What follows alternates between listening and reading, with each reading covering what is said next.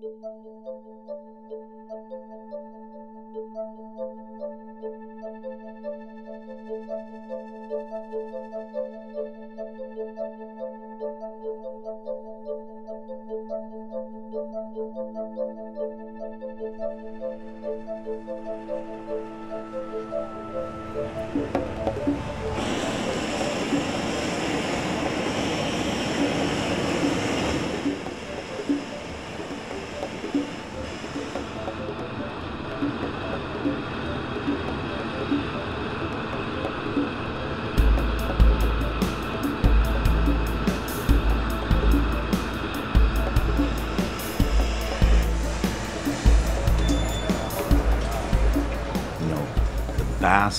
did evolve into the sea forms, and the sea forms evolved into the Persians.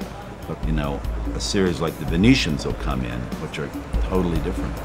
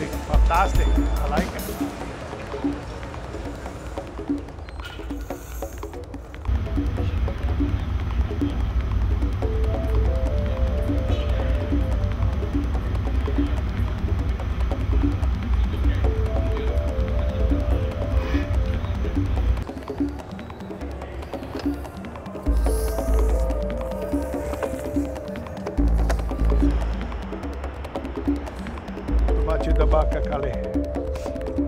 No in the back.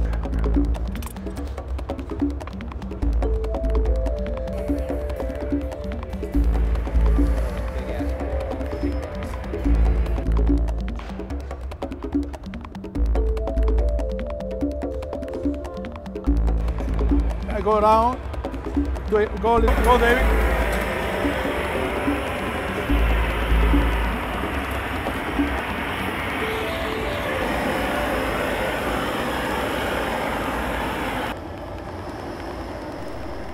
The Venetians started because Lino came to me and he said, it'd be, it'd be great to work with you on a series sometime. You use all these American gaffers. Well, I was a little reluctant because most of the American gaffers that I worked with, I trained myself. And working with them, and they understood the way I worked, and we worked in an asymmetrical way that's not very traditional. So, working with a real uh, European master that works symmetrically uh, was going to be a challenge because my work wasn't symmetrical. So, but I said yes, and uh, we made a date for the next summer because Lino came every year to Pilchuck. That winter, I was trying to figure out, well, what, what am I going to do? And I went to Italy uh, sometime during that winter, and I saw a great collection of sort of Art Deco Venetian glass that I'd never seen before in this palazzo.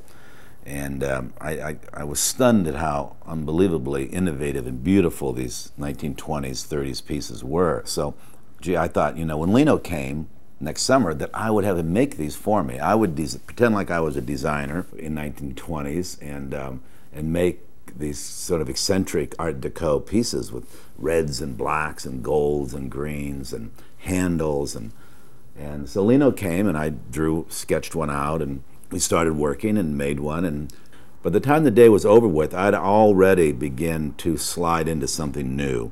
My mind couldn't stay in the 1920s, I guess, and uh, I started making more eccentric things.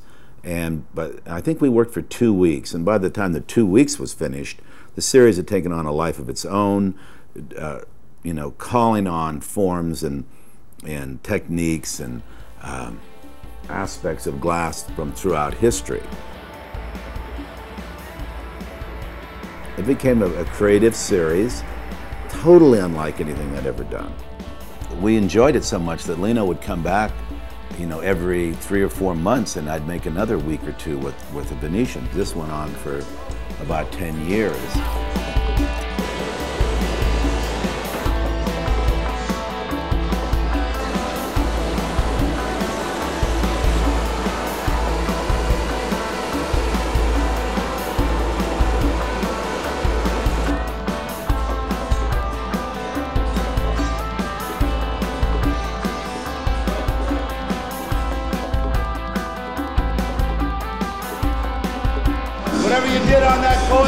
One more time.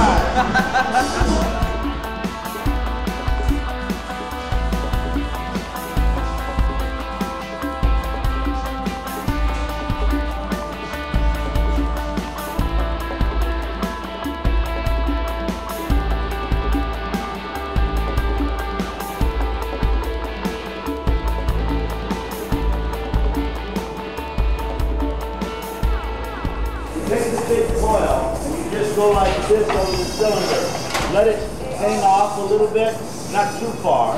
Then gather of glass, put it on, make it longer, then we put two leaves. We see how, make it as long as you can. Yeah, yeah. So a little, little slower, a little slower. It's possible with the glass, make glass block. They turn like this, and then go back, and then turn another time. One time is possible. eh? Yeah, one time just to get one loop out there. Yeah, yeah, yeah, yeah. Keep, keep that in the air. Keep that in the air. cut, cut.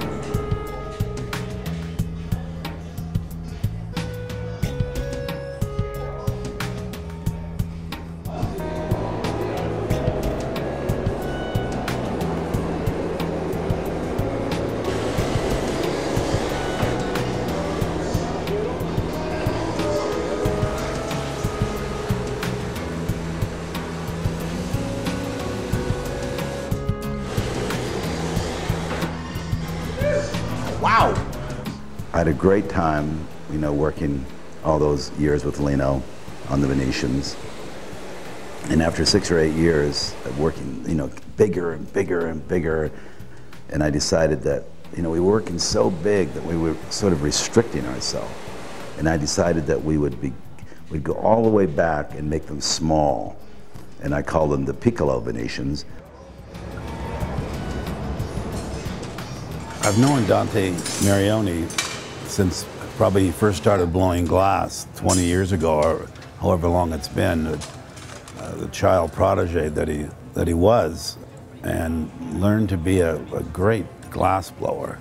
And I always thought of using him in some way. I asked him to be on the Venetian team with Lino, and he he asked instead of being on the team, could he watch?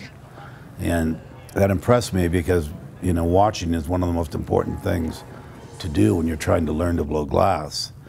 Uh, but finally, in the late 90s, um, I asked him if he'd make some piccolo Venetians.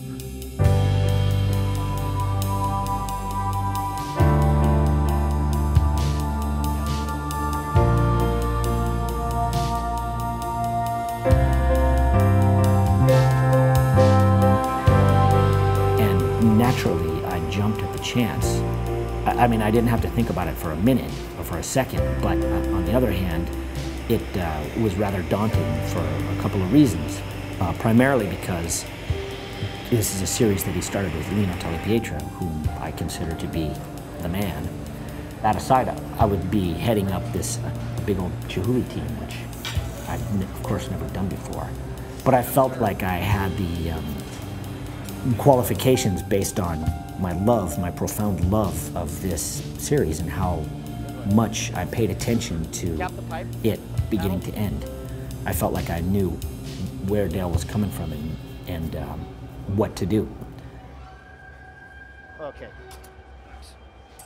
As a kid, all I ever did was just try to emulate his every move, whether I understood it or not. And in time, I would understand it. You know, the way that he put the foot ring on the Venetians, for example, comes to mind. Every time I put foot rings on lots of the pieces I do, he certainly didn't invent the foot ring, but he absolutely perfected it. And watching how he did it, you know, uh, every single time I do it, that's my frame of reference is how Lino did it in 1990 making Venetians, you know.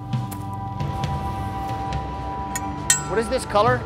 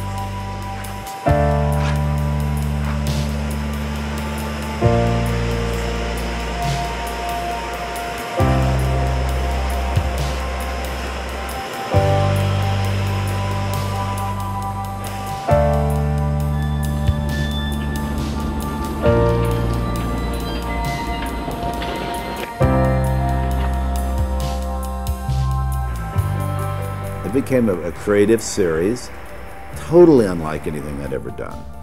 We enjoyed it so much that Lino would come back, you know, every three or four months, and I'd make another week or two with, with the Venetians. This went on for about 10 years.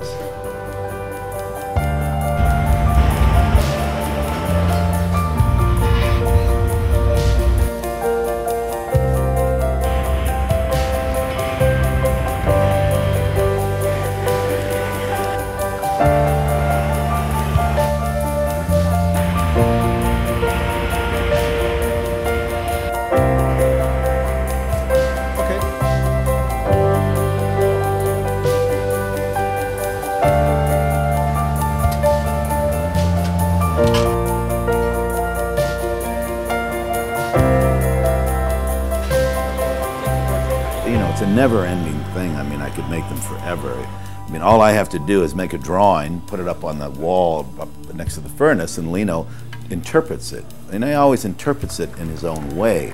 So there's a lot of creativity from Lino and the other people on the team. If you want to make a tall one Okay, with one or two coils, okay, sure. but it doesn't have to be that shape. Whatever shape, okay. Ladonna, whatever. With like, okay. I mean, I do drawings for macchia and sea forms, but they're usually more of an abstraction or color.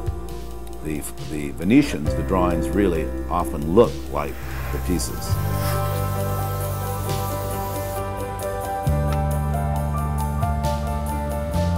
Stop it. Uh, we start with the two leaf, uh, one lily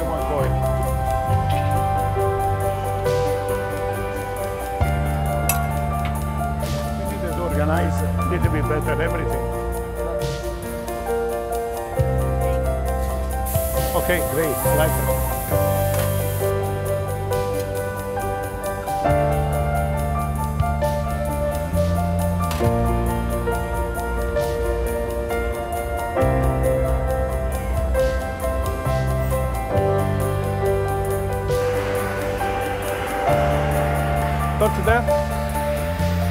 Torch, no small torch.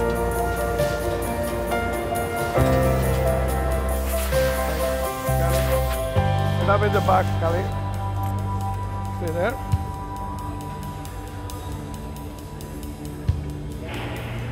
Load in the middle. Give in the middle. In the middle there. Okay, there.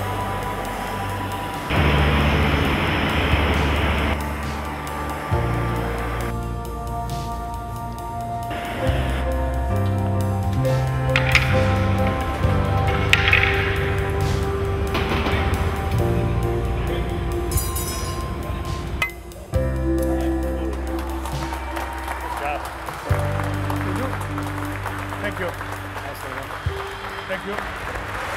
Very nice, huh? Yeah, beautiful. Ooh.